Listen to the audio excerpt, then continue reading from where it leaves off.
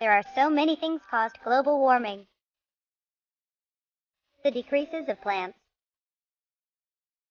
increases of people, caused high mobility, over and using private transportation. Consequences super high pollution, pollution of industries support global warm up. Until temperature super hot inside. And super hot outside. What we need to do. There are few simple ways. Don't too often use private transportation. Stop the building construction and industries. And give the town green space.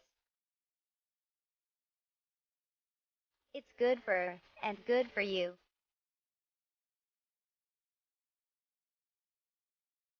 www.cooldownaplanet.com